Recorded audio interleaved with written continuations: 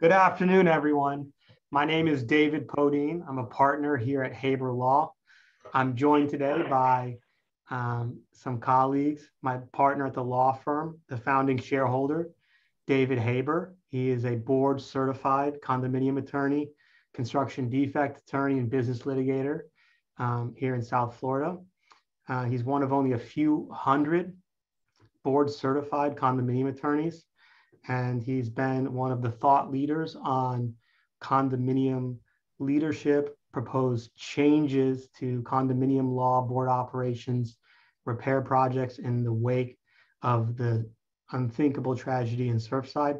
David, thank you so much for joining us today. It's my pleasure, we're, David. We're also joined on this panel by Donald Kipnis. Donald is the founder and CEO of DSS Condo. He has a long, storied, and successful track record in South Florida in the construction industry, going back to one of the most prolific general contractors in South Florida, where he was the CEO of Miller and Solomon General Contractors. After Miller and Solomon General Contractors, Donald was a partner and executive vice president of construction for the Trump Group. And then Donald I don't want to say recently because it's actually been probably, if I had to guess, about 10 years now. Have you guys had your 10th anniversary? Or am I off on that? Has been the founder and CEO of DSS Condo, which is one of the leading project management owner rep firms specializing in condominium repair projects. Donald, thank you so much for joining us. Thank you for having us. It is close to 10 years now. Thank you. I thought I, I, I, I thought I was close on that.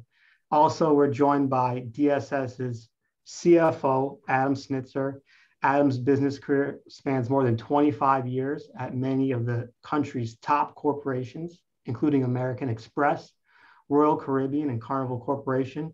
He's known for his passionate focus on customer services, as well as client satisfaction and problem solving. He has an MBA from NYU, where he studied operations, finance, and marketing. Adam, thank you for joining us as well. Thank you, David. Thank you. It's a pleasure to be here.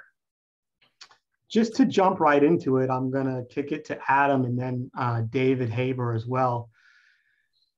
We now, um, not just in our little niche of the professional world of condo attorneys and construction project managers, but everyone sort of um, it's on their minds in terms of condo repair projects, reserves, assessing the condition of buildings. It's, it's something that, because of the tragedy in Surfside, so many people are talking about. But to start sort of at the beginning, if, if you're either on a board or you're a project manager and you need to assemble a team for one of these major projects, Adam, can you, can you speak to like the role of an owner's rep or project manager on that team? And if you and David can also speak to the other players that you need on the team for these these major, you know, repair projects at condominiums, whether it's garden style or high rise? Well, David, thank you for that question. It's an outstanding question. An owner's rep firm like DSS Condo manage, manages a construction project and, as the name implies, safeguards the interests of the owners. Okay. And we go about that in a number of different ways. Um, you know, reviewing the drawings, creating a project plan, uh, a realistic budget and schedule, assembling the right team of participants, you know, to your question is to make sure that a condominium community assembles the right design professionals, contractors, subcontractors, specialty vendors on a project so that we've got the right people who are um, experienced and qualified to do the work. Um, we also work with the association's attorney to negotiate contracts. We manage the permitting process. We orchestrate all of the project participants' activities, you know, throughout the entire uh, pre-construction and construction project. You know, um, David, large developers have entire teams of people who do this for them. Small developers always hire a consultant to do it for them. DSS Condo is unique in that we specialize in providing these critical services to the condominium community. And, and David, if you could speak to, because you have a tremendous amount of experience dealing with board of directors. They're volunteer board of directors, and they find themselves in this position of having to do these big projects. So, what what is the lawyer's role, and what is the role of the team that these directors need to surround themselves with? Let me start by saying that the board of directors um, has a fiduciary duty to the condominium, and as such, they are protected by the business judgment rule, which means that so long as you are exercising reasonable business judgment, you are immune from suit. Uh, boards get into trouble when they ignore a project that needs to be done and someone gets hurt or someone's car gets crushed or whatever it is um, if they were reckless or willful um, in their in their decisions one of the best ways to avoid that and to use what's called reasonable business judgment is to rely upon experts when you rely upon experts as a board member you have protection and you have immunity so you always want to rely on your management company. You want to rely on your lawyer's opinions. You want to rely on your owner's rep's opinion. You want to rely upon your engineer's opinion. So when you're looking at a project, I think the first thing is to try to figure out the scope of the project. And we'll talk about scope a little bit later. I know Donald and, and Adam and I have a lot to say about that. But in order to get your team together, and you need a team of experts, you start with the lawyer. And I'm not saying that just because I'm a lawyer. Adam and, and Donald will concur. And the reason is because you have to negotiate the first contract, whether it's with the owner's rep or whether it's with the engineer who's scoping the project, you must have the lawyer drafting the contract. Your manager cannot practice law the board should not practice law, even if board members are lawyers. You should rely on experts and professionals. So when you negotiate those contracts, and you will ultimately need contracts with the owner's rep, the architect or engineer, as well as the contractor. So you have the lawyer working on different contracts at different times. And you have to understand that this is a process. If the board votes to do a project. It's not like you snap your fingers and the project starts. You have to figure out scope. You got to get your team together. You got to then get specs together. You also have to go bid that out to contractors, decide who's who's a qualified contractor to bid, then select your contract, then negotiate the contract, and then they have to mobilize and get started. And this process can take anywhere from 3 months to a year. So getting the team together is important, and the first person on the team is typically the lawyer. And you touched on, uh, you're making my job easy. You touched on the next point to segue into project scope. And so a lot of times, um, these projects start out as there's a need for a repair, um, and they seem to balloon or take on a life of their own. But uh, Donald, with all your construction experience being on the GC side now being on the project management side. Can you speak to the best way to approach identifying and establishing the universe of the project scope when, when DSS gets brought in on something like this? Sure, I'd be happy to help. So the project scope is, is more than the physical work or improvement being performed. Um, that's the obvious. The hidden part, which is as critically important as anything is this pre-construction phase and determining through field study, uh, destructive testing, visual, what the true scope of the work is going to be so the plans and specifications can be written for the bid and permitting process. It's really the foundation, the, the pre-construction and, and field study are the foundation for the success of the entire project because the bid, the permit, the loan, the work itself is all based on that. So the pre-construction is complex, it's time consuming. Uh, people want to go faster rather than slower, and you really want to take your time, be meticulous, and be thorough. Because at the end of the day, even the field study is a statistical analysis of the whole building. So you really want to have a contingency associated with whatever is done to mitigate any overrun. I hope that helped answer. Certainly.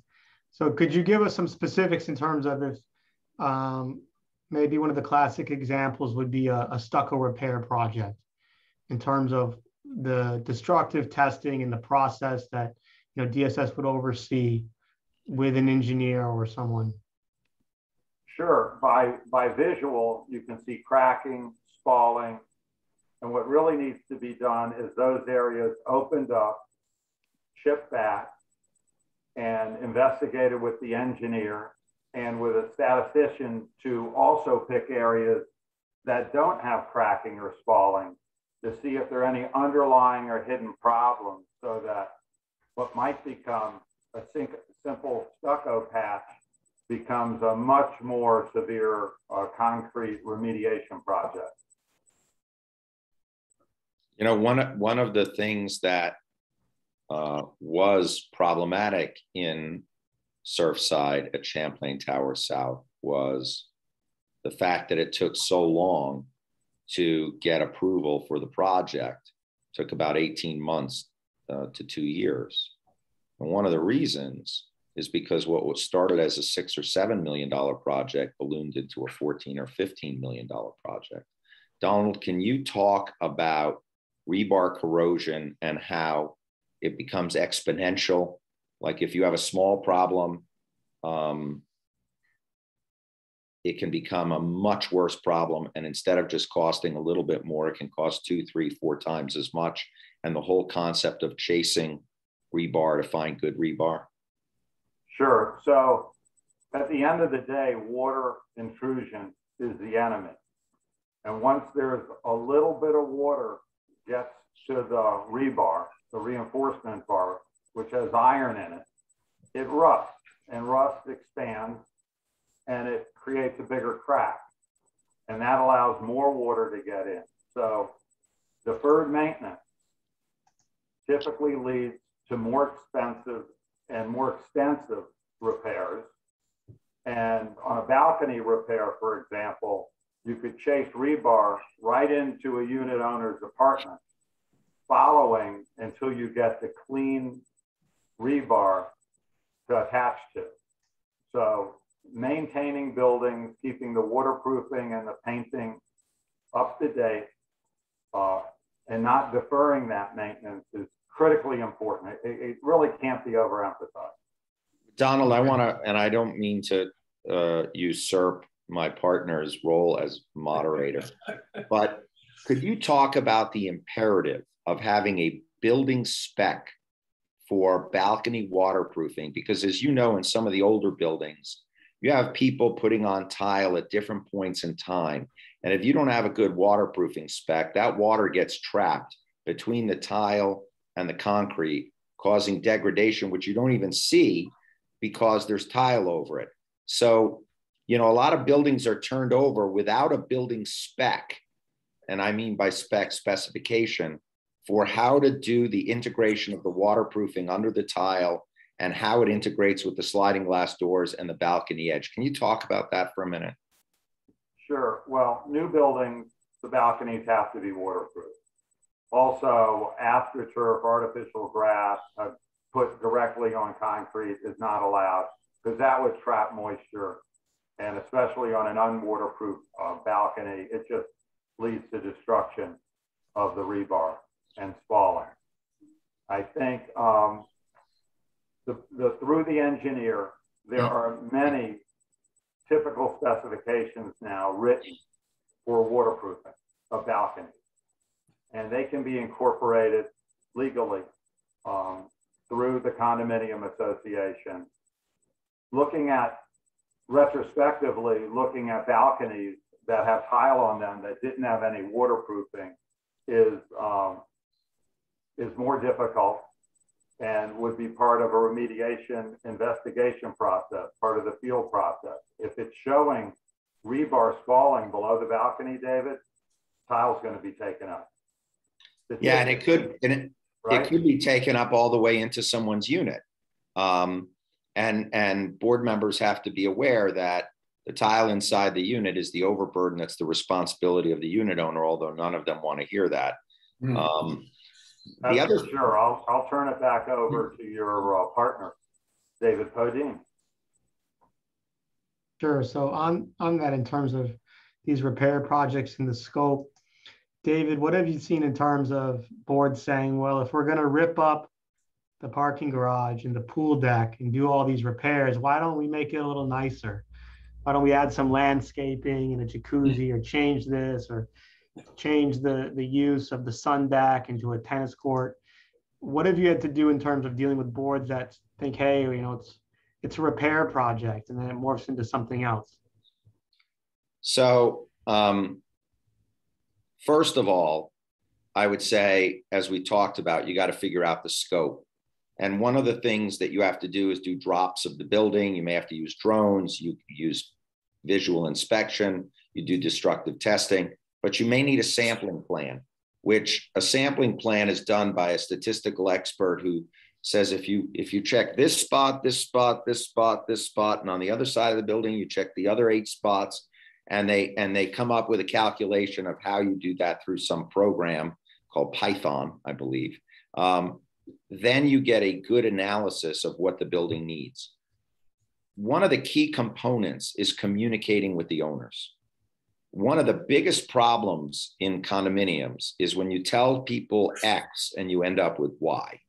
They feel whether they feel distrustful, uh, mistrustful, whether they feel like someone's doing something wrong.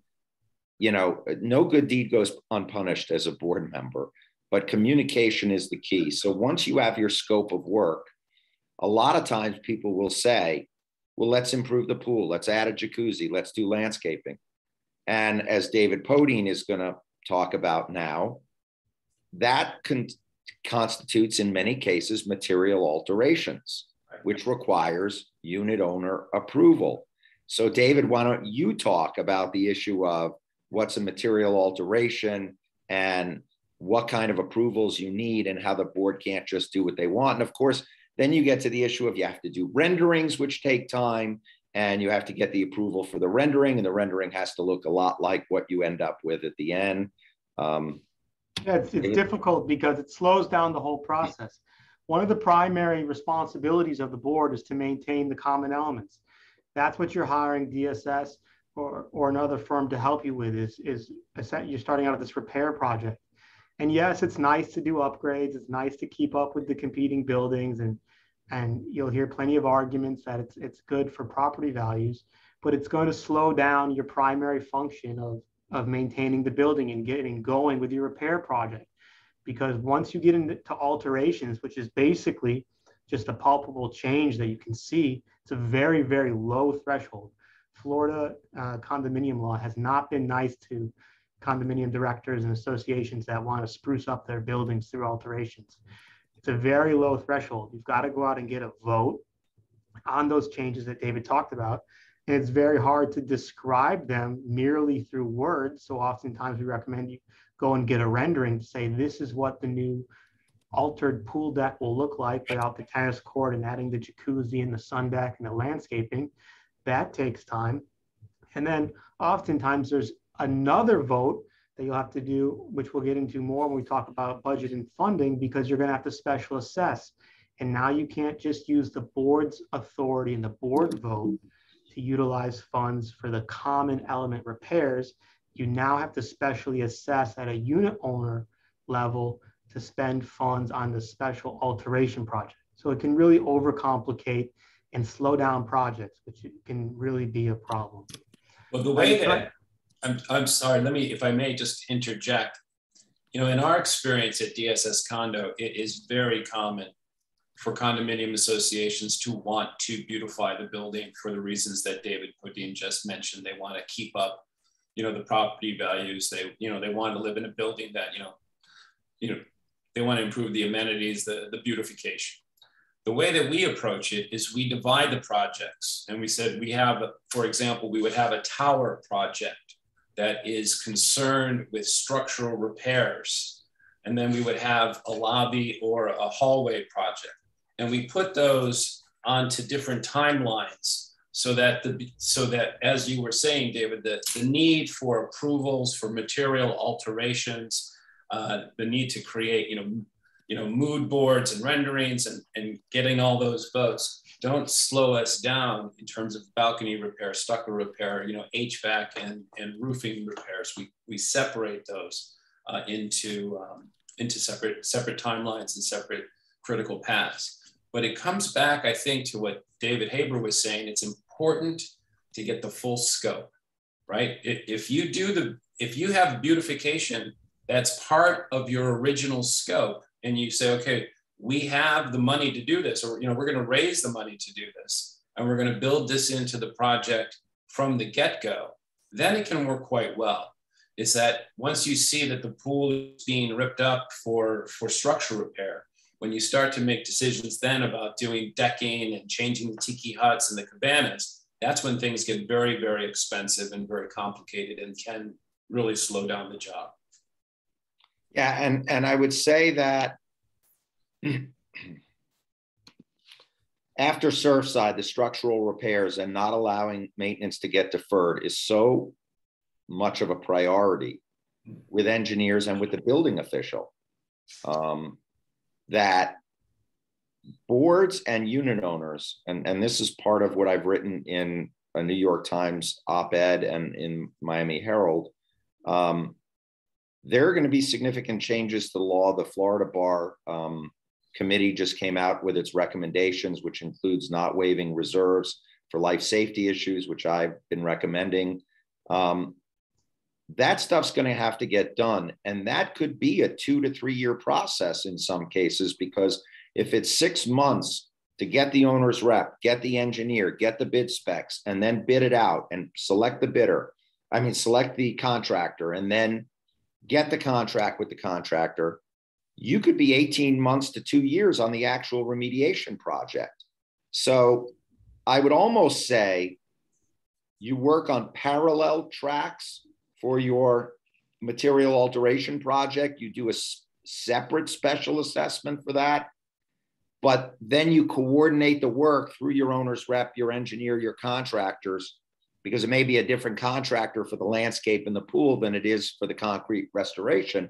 But you have them on parallel tracks moving together forward, but you cannot slow down your concrete restoration, your your sliding door restoration, or whatever your your deferred maintenance and, and, and structural repairs are so that you can put, you know, some prettier tile on. You, you just can't. Uh, be, and, and the reason is not just safety, it's cost. Because if you wait three years to do that remediation project, it can go from six to $15 million very easily. So the sooner you do it, the better. One other point, uh, David, you brought up earlier are the rendering because we've come up against it before. If there are details shown on the rendering, which are approved by the association in the special assessment, that somehow don't get brought into the construction and permit document, and the contract is written on the construction document, the resident can expect to get what's in the rendering.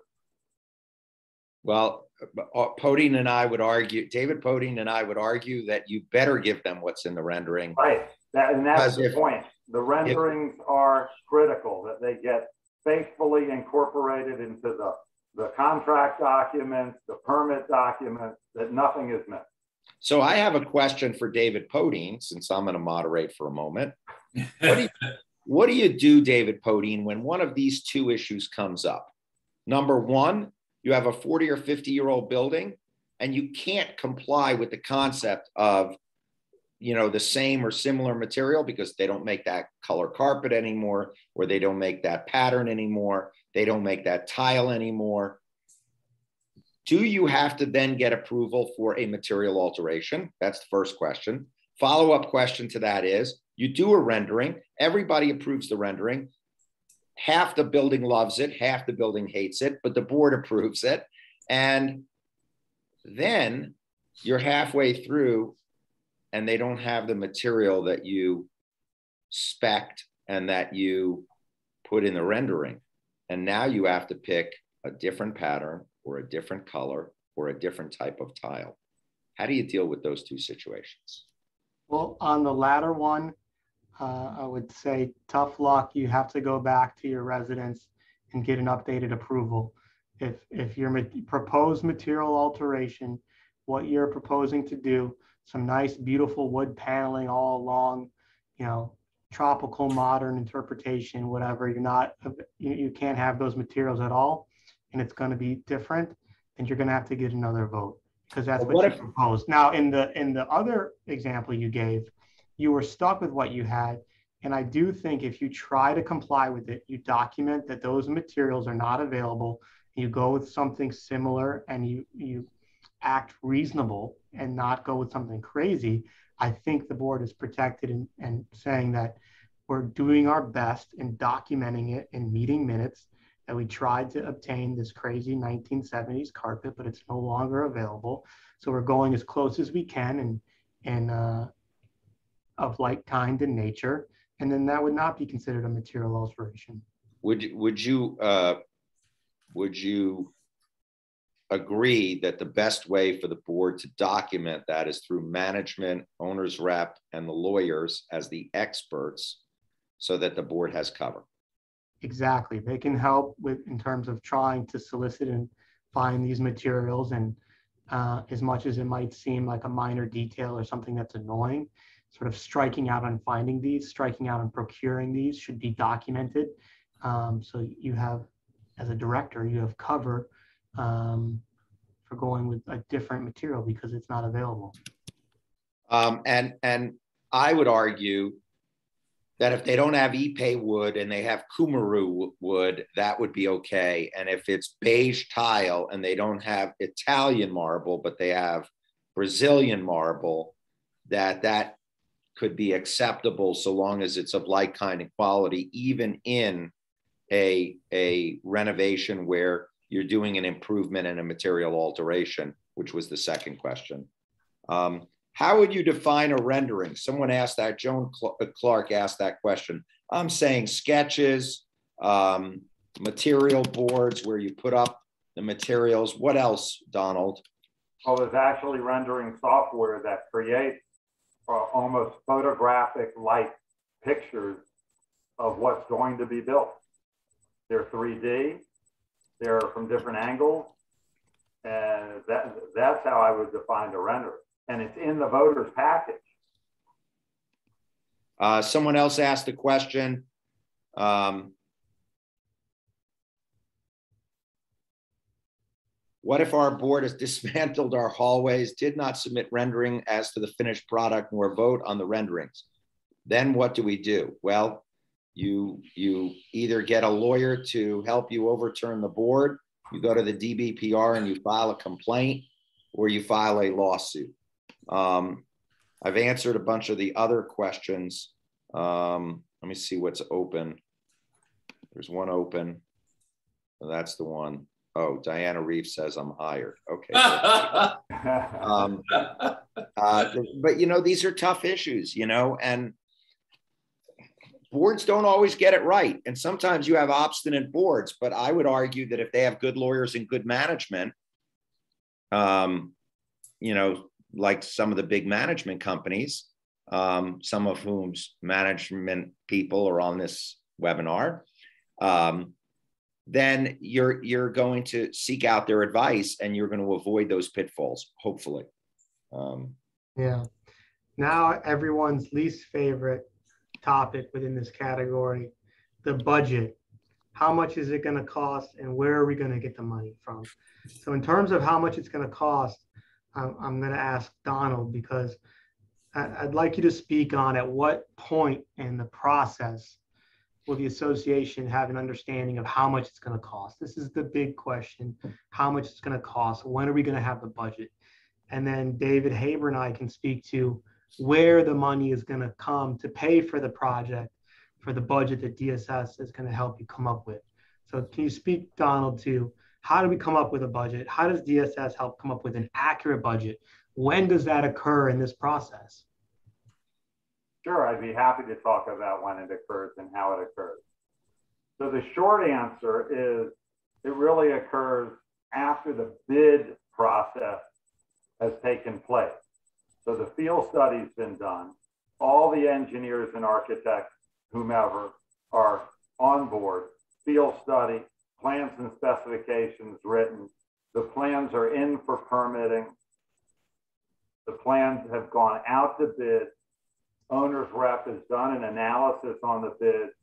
And now you have a really good idea of what all the costs are. You know, everyone's contract, you know, permit fees, scope of work.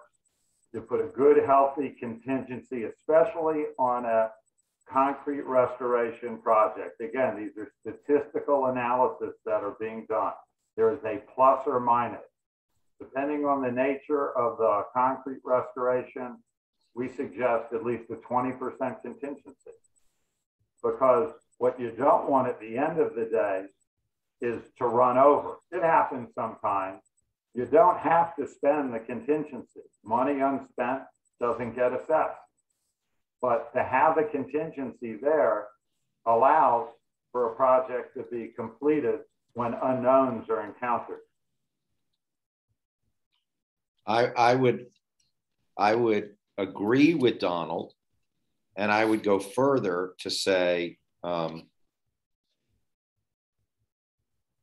the more maintenance you do and avoid deferred maintenance, the lower this special assessment and this project is going to be in terms of scope. And that really is where the board and management needs to communicate immediately nowadays that budgets may get more expensive, not just because you can't waive assessments, I mean, uh, waive reserves anymore, and you're going to have to assess for it, but also because you're going to have more continual maintenance to avoid uh, deferred maintenance expenses that go into the millions of dollars. So you may spend an extra fifty or seventy-five thousand dollars a year to deal with concrete and and and spalling or injecting into concrete or waterproofing where where it's failing in planters and the like, so that it doesn't get into the garage and cause more destruct more destruction to the columns.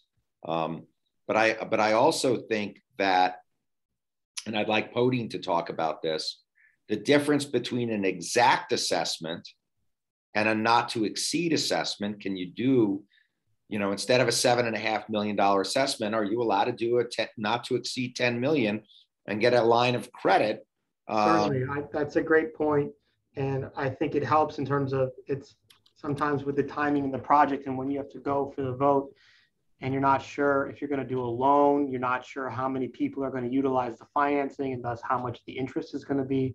So I uh, very often will work with the project management team, the owner's rep, and the board at coming up with a not to exceed budget figure.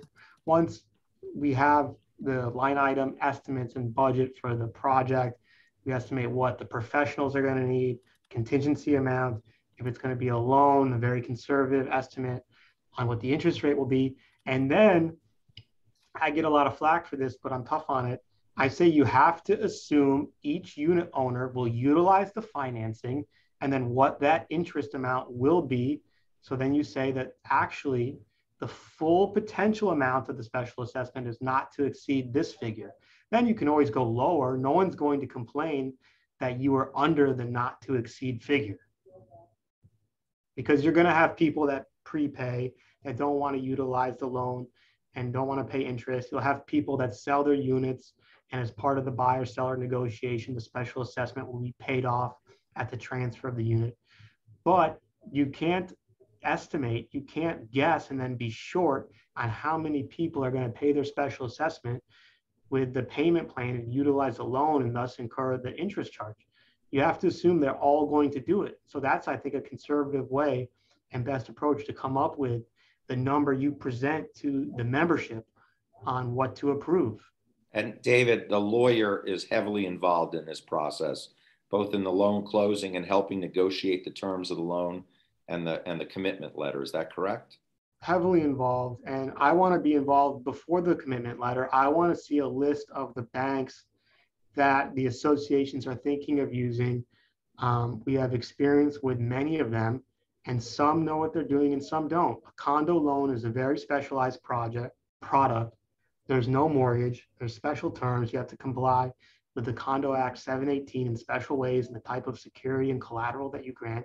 You can't just come in with an out-of-state bank that doesn't have experience or and or a lender's counsel that doesn't have experience with these special loan documents. And it can be a mess and it can eat, it can slow down your project, it can run up the cost of your project, as opposed to really having a team of people that know what they're doing in this special kind of product.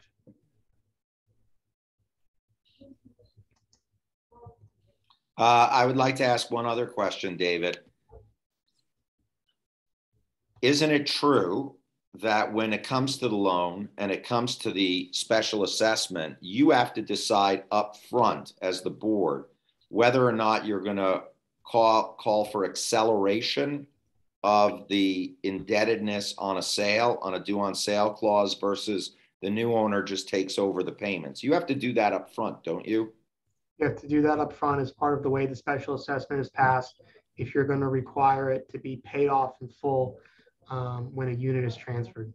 And sometimes you'll say, oh, well, so and so is selling their unit for millions and millions of dollars. You know, why don't we don't want we want it to be paid off when it's transferred? Well, if you don't pass the special assessment in that particular way with that requirement up front, you're pretty much uh, crap out of luck uh, for trying to enforce it after the fact.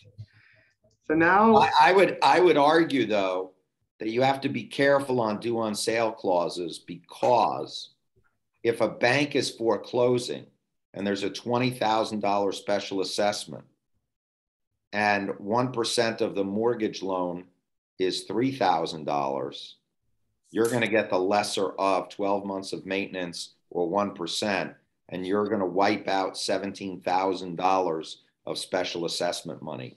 So be careful what you ask for. You know, some people say, yeah, I want to get the money quicker.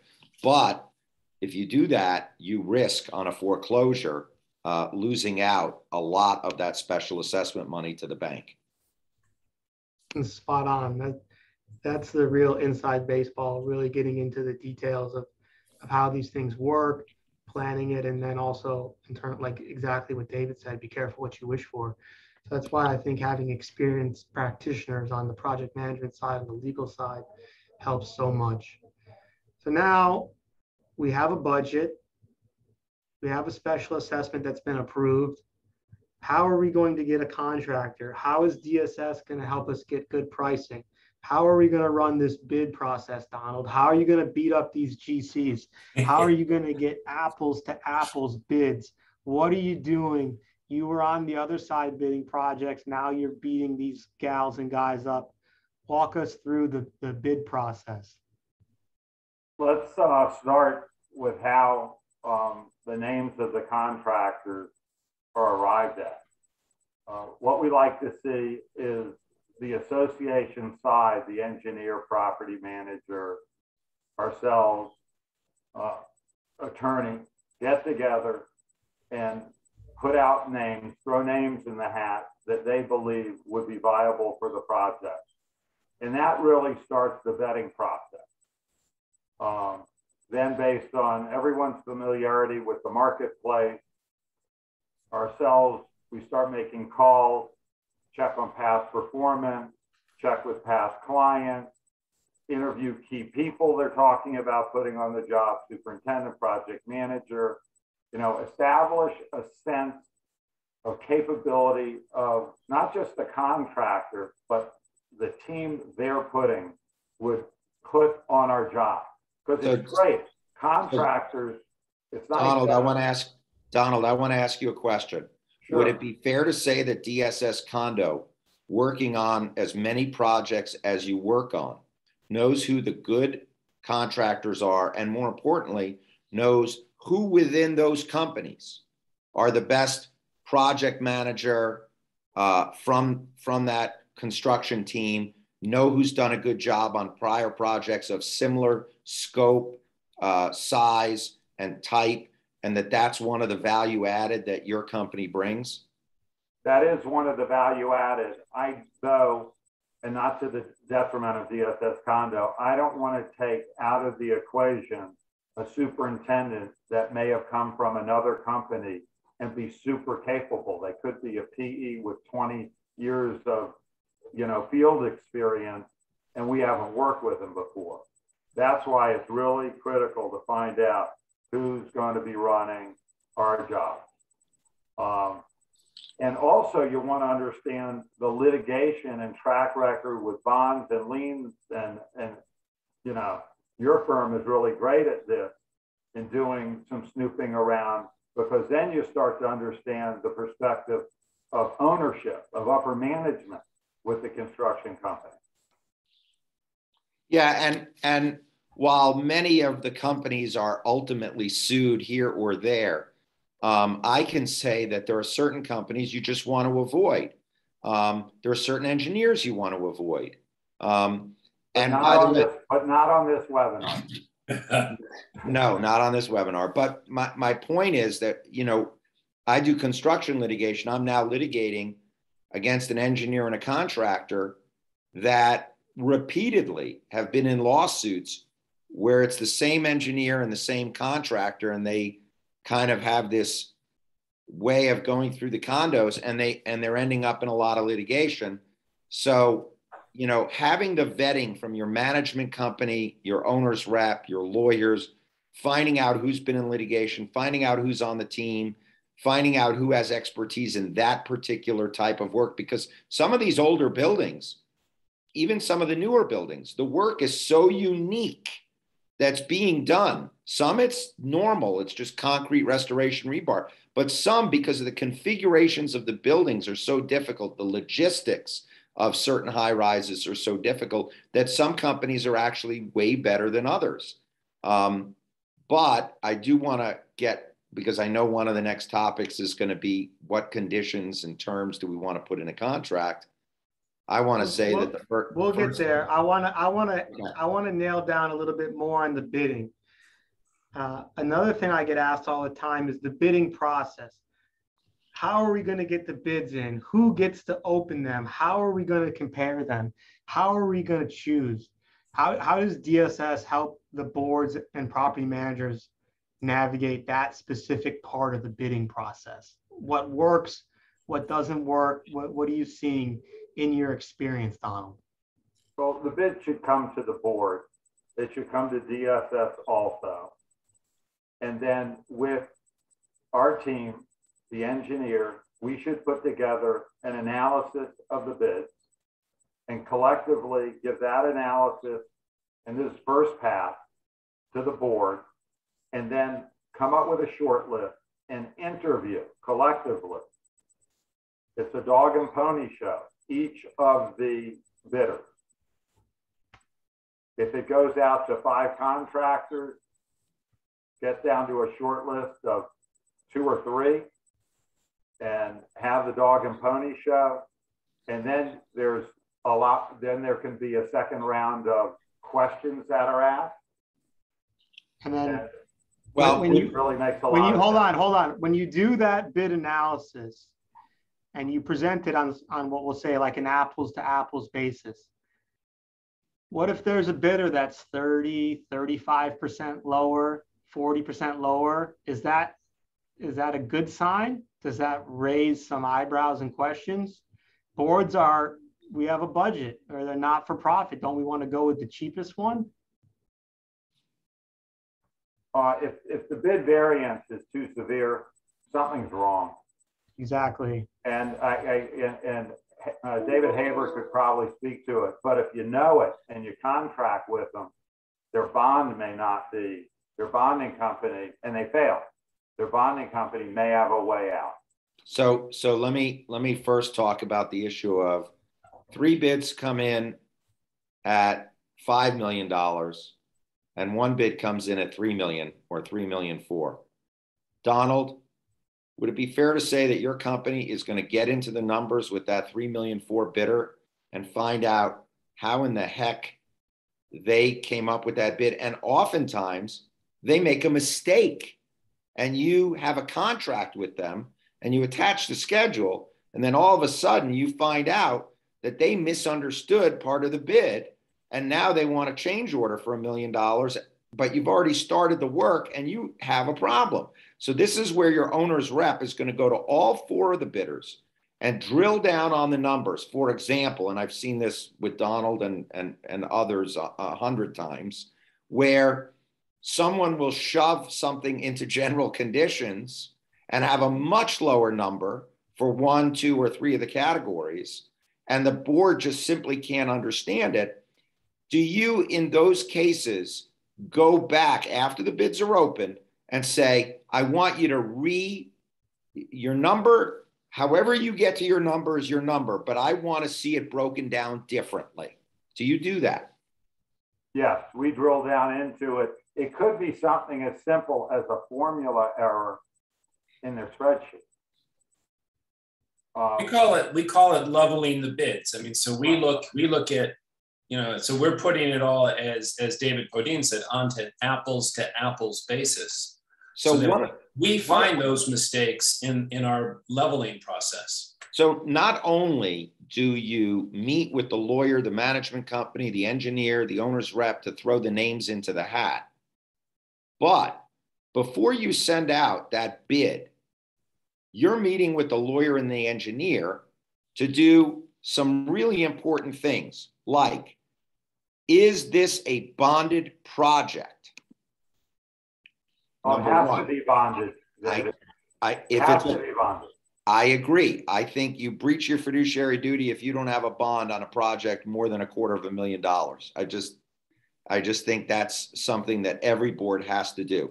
And then you have to get into is it a payment and performance bond? Is it a surety bond? Who's negotiating the terms of that bond? I believe it's the owner's rep and the lawyer. But you also have to put certain other things into the bid documents, like what are the hours? Are you allowed to work Saturdays? Are you closed during the Christmas and, and, and, and New Year's holidays? Are you closed all three day holidays like Labor Day, Memorial Day? How much does it cost to demobilize and remobilize for a hurricane? Do you get one free mobilization for free? Um, where do you park their, their employee cars, offsite, onsite? Where do they store materials? These are all things that the owner's rep and the lawyers put into the bid documents. Is that correct, Donald? Yes, and they're negotiated, especially site logistics. And it's really important for the unit owners to understand how the process of remediating a building affects their life living in that building while it's happening. Uh, balconies are locked out. Uh, certain areas uh, cannot be used. There's chipping noise, concrete building that travels throughout the building. So uh, the staging and logistics plan part. as part of the bidding is is so important because mainly we're going to be working on these projects for an occupied building and they, they were not designed and built to have extra area for staging these significant repair projects i've seen everything from the parties thought they were uh, assuming they could park and put a 40 yard dumpster here and it turns out it's not their parking garage it's a different towers parking garage or the master association's parking garage or they or they all were just going to park on the street. This was a good one. They were all just going to park on the street and submit reimbursements at the full clip of City of Miami Beach street parking for six cars for 18 months. Uh, so all these things, you need the experience of people on your project management side that have been through it, that know the details, that know the things that can go wrong and can help you plan these items out. You can only do so much with the main contract terms, you have to get into the details. You need to be planning out the, I, I the site plan, the logistics, and these things need to be part of the bidding and negotiating. So you're not trying to do it at the very end when you've already picked a contractor, you already have a price, you're on the one yard line, but none of these things have been addressed. And then you're going to get blamed for slowing the process down. I, I would also argue that the owner's rep is critical to interface with management. Management is not your owner's rep. Your manager is not the guy or lady who is supposed to sit there and figure out when the pool deck is closed, for how long, how do you coordinate off, how many people are going to be out there, how, how many balconies do you need to be on, when do they need to be locked off. that needs to be interfaced with the owner's rep, but the owner's rep is the person doing all that work. And in the bid specs, I believe very strongly that you need to have not just the, the, the plan, but when things are going to be closed, because you oftentimes run into a situation where in a high end luxury building, try telling them that during winter season, you're closing the pool for six months, the entire pool, and the, you know, maybe you're closing the gym for three months or whatever the case may be. There are certain, I don't want to say they're political considerations, but they are considerations that hot must button, be taken hot into button considerations. Hot button considerations. And so Donald and Adam's job is to work through that, understanding management and the board's concerns, the limitations, and what the impact on price is going to be. So the reason you put the logistics plan and the timing for the project, because one bidder may say, I'll do it in 24 months, and the other bidder may say, I'll do it in 18 months. And one bidder may say, I'm closing down the whole building at one time, and another uh, uh, bidder may say, I'm going to do this half, then I'm going to switch to this half. All of that affects price. Um, you know, the labor force you put in and the time that you put that labor force in a project all affects your cost. So that's that's part of the apples to apples, isn't it, Adam? It absolutely is part of it. I mean, we're we're operating in a fully occupied building, as David said a few minutes ago. So the logistics are absolutely critical to make sure that we minimize the disruption to the community as much as possible. And I think that's one of the places where DSS condo, it, you know, our expertise really shines because we do this for condominiums day in and day out. I actually live in a condominium, so I know the pain. Absolutely. Absolutely. Um, and, and, and, you know, there, there's a lot of information to get from the contractors post bid in this interview process post initial bid that helps tighten the criteria that the, the job's going to be run under. It's really impossible to get it all in the bid document. There is a learning process in analyzing the bids and speaking to the contractors, and part of the negotiation that becomes a refinement process. Uh, I just wanted to make that clear that it isn't all upfront in the bid document.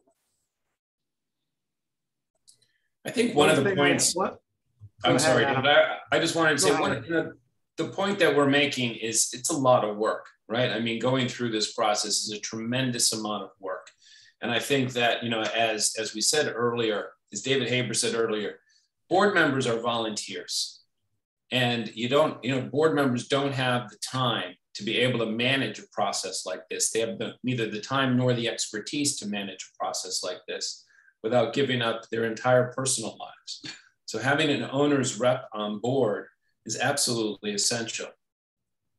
Um, Adam, can you talk about how your company as an owner's rep can work with a condo on different um, payment structures at different points um, within the project from the pre-bid to post-bid to actual construction and whether or not you can um, have varying levels of involvement and cost so that they're not getting charged all the same amount at the same time you know all the way through the project absolutely david thank you for that question so we typically operate in four phases, and there's a different price per phase. And the and it's it's uh, the price is determined by which you know which level of, of talent we need to have on the talent and experience we need on on that particular phase, and how much time we have to spend on site versus in our office. But we have uh, we have what we call the planning phase, which is to just get the the basics of the project well understood to what's our scope, what's what's a preliminary cost, not a final cost, but just what are we talking about here? And if we were gonna say a not to exceed, what would that look like? Who are the right professionals that need to be involved? And just the general, let's say, scope of the project, creating a plan, a preliminary budget and schedule. So there's one fee for that. Then we get into pre-construction and pre-construction is where we start to you know, get seriously uh, detailed about the, the documents, the drawings, etc. We go through the bidding process that we've just spent a few minutes talking about. We get into permitting and we start to have a lot of involvement in the project, although not necessarily on site every day. So there's another fee for that. Then we get into construction administration, where we are on site virtually every single day. And in that phase, you know, we're there to, uh, you know, make sure things are going well, to supervise, um, you know, the project participants, to solve problems as they come up, to communicate with the property managers and coordinate and collaborate with the property managers on, on issues like, as we were talking about, when does the pool have to be closed? How do we communicate things to the clients? I mean, to, excuse me, to the unit owners. And then uh, the final phase is closeout, which is, you know, an art form in and of itself to say, okay, we are close all right, we're almost there. But by, by that point, you know, it's it's the dotting of the I's and the crossing of the T's, the touching up of paint, making sure that everything is pristine, that the liens have been released properly, that warranties have been, um, you know, uh, properly provided, and that everyone has been paid. Adam, on that issue of warranties, because I was asked earlier, what's a proper length of warranty from the contractor? And I said they're going to try to limit it to a year and you're going to want to try to get it two to five. No contractors are going to give you beyond that. And on the manufacturer's warranty, they're not going to give you a warranty unless their rep is there seeing the paint application, seeing the waterproofing application, making sure it's done by a qualified contractor who's approved to install their product, which is one of the things the owner's rep is going to look into when the engineer is specing the project.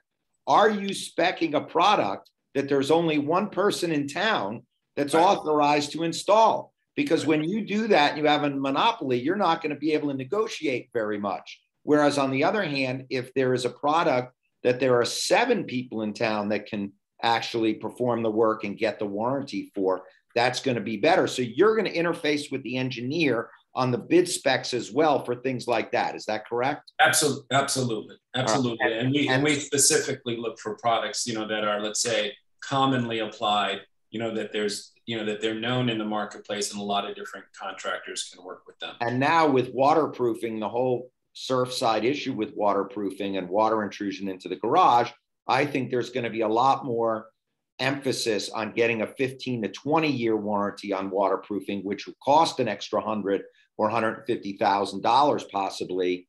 However, it means you don't have to rip up the tile every seven years to re-waterproof at an expense of a half a million to a million and a half dollars. Well, David, what you're really talking about is not, in a sense, the length of the warranty, the quality of the, pro- of the product that's being applied, the longevity, because the product doesn't know what its warranty is. Great if, point. If, if it's applied properly and if it is the best product. The other thing, the other thing, Donald, is you negotiate what's called an overburden warranty. Can you explain what an overburden warranty is? Well, because I, I, I the difference between a bucket, it. A bucket warranty versus an overburden warranty is like well, the difference between a Chevette and a Ferrari. Well, typically for planters, you're not going to get an overburden warranty because that involves taking up all of the dirt in the plant out of the planter, repairing and putting them back. So when you're looking at waterproofing, different than roofing, there is a warranty for the waterproofing itself, a labor and material warranty, but the overburden is on the owner. When you're looking at roofing, there is a called an NDL, a no dollar limit warranty. And since there typically is not overburden on a roof unless it's a green roof, then the roof warranty covers everything, except it's got a limitation on wind speed. You can buy riders. You can buy high wind speed riders for 175 miles an hour. So you can buy, in essence, where a warranty would otherwise be negated from an event of God, you know, force majeure, hurricane, you can buy a special warranty that will up your warranty to, in essence, cover a hurricane. Is that correct? Cover a certain wind speed, and that's called a rider. Okay, so that's something that buy duration. And But- when you buy the duration, the quality of the product is improved with longer duration. That's why Okay. I go back to the original statement. It's about buying quality products and applying them properly. And The that's where where- is a Piece of paper. And again, this is where the owner's rep is critical, critical. Because when an engineer does a spec, sometimes they do the spec for what they think is the best because it gives them the best protection. But if you can't find more than one person in town that can apply it, the owner's rep is the one who says, guys, that's a great spec, but we got to be practical. Nobody's going to apply that in South Florida other than, you know, Joe Smith Roofing. And Joe Smith Roofing charges three times as much as everybody else. And there's a product out there that's equally as good, but there are seven people who can apply it. Or They're approved applicators. right, and and and and and the warranty on that may be better. I know we have to wrap up. So David, do you want? I think you get final comments since you've spoken the least. You, you touched on the thing I wanted to make sure got brought up in terms of the warranty. I always see these contractors try to ram through what we like to just call a bucket warranty. And in today's economic climate, it's important to make sure you're looking at these things because they try to limit their dollar amount liability to the cost of the materials when they purchase them. Well, three, four years later after the project, that, that cost might not help as well. So I'm glad Donald touched on the no dollar limit warranty. That's very important. I think we could definitely do another one of these when we talk about um, pitfalls to avoid during the project and at the project uh, closeout. As Adam talked about, the project closeout, that's an art in, in and of itself in terms of getting everything done, getting the inspections, getting the warranties issued, getting the lien released, getting people paid, uh, fighting off some of those excessive change orders and whatnot. So Also, also uh, delay claims and uh, penalties and what you know how many rain days do they get and change orders for time. Oh yeah, my Sometimes my favorite my favorite one is rain delayed change orders that are only signed by one party, and then I receive about seventeen of them uh, the day before final payment is due. And uh, but anyways, I want to Uh, bring thank up one, one last thing. one last point from Donald, Adam, and then we'll wrap. One up. last point, which we didn't touch on, is the contract exhibit. They actually are a material part of the whole thing. And we could have a webinar on contract exhibits because there's a long list of them from bond form- forms, warranties, logistic plans, unit cost, schedule of values, you name it, it's in the exhibit. The contract terms may govern it, but it's all in the exhibits, the list of the plans and so forth. Thank you very much. Thank you, Adam. Did you want to? Well, from my side, from, thoughts. From my side, I just wanted to say that it's it's my great pleasure to work for the condominium community here in South Florida. And you know, thanks again to David Podein and David Haber and and, and uh, Haber Law for having us on this webinar today. It was a pleasure and a privilege, and we look forward to you know joining you again in the near future. Thank you so much. Thank you to everyone that attended. See a number of familiar names there, some new names. If you have questions, you can reach out, call us, email us, and uh, we'll get another one of these scheduled to go over uh, the middle phase and the closeout phase. Thank you so much. Thank you. Thank you, everyone. Thank you, everyone. Bye bye. Stay safe.